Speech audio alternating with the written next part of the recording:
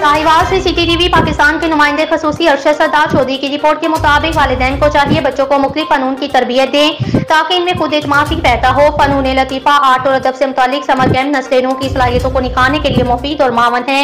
Commissioner Sahiwal division Shoaib Iqbal Syed ने कहा, नई नस्ल को मुस्तबिल की जिम्मेदारियाँ संभालने के काबिल बनाने के साथ साथ अच्छा इंसान बनाना भी असाजा और वालदेन का वलीन फ़र्ज़ है, जिसके लिए इन्हें अपनी तमाम सलाहियतें बरोकार लानी चाहिए। बच्चों की जहनी नशरमा के लिए तालीम के साथ साथ हम नसाबी सरगर्मियाँ भी इंतहाई अहम है। वालदेन को चाहिए बच्चों को मुख्य फनून की तरबियत दें ताकि इनमें खुद एतमादी पैदा हो। उन्होंने साहिवाल आर्ट्स काउंसिल के जेर एहतमाम।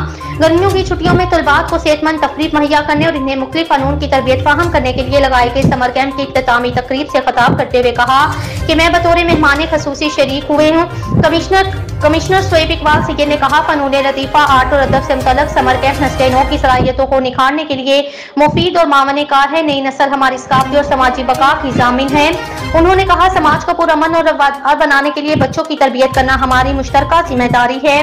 कमिश्नर साहिवाल शोएब इकबाल सैद ने बच्चों की जानब से art and craft, spoken English खुशखती दास्तान, कोई योगा क्लासेस, बर्तन और लोक सकाफत के गीत को खूब सराहा।